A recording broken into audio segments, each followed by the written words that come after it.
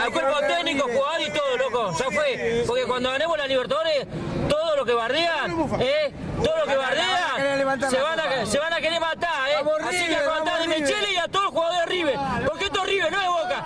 Esto es River, ¿eh? Es River, ¿eh? Aguante River, ¿eh? ¿Te gustó el equipo Aguante? River. Eh, la realidad que bueno, lo- el equipo estuvo aceptable, este, el partido fue bastante tranquilo, accesible, claramente nos, claramente nos faltan cuatro o cinco refuerzos de jerarquía para poder pelear, para poder pelear el campeonato, así que bueno, este, espero que esto sea un envión para lo que viene.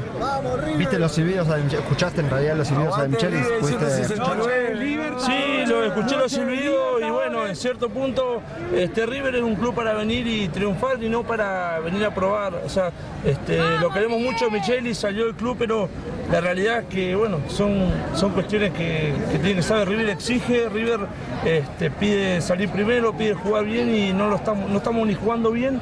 Y cuando salimos fuera del Monumental estamos dando mucha ventaja. Entonces, un poco por todo eso es lo que pasó. ¿Vos qué opinas, maestro, de los Que la primera declaración es que no hay mucho que decir. Acá está el resultado que decían en contra de Micheli.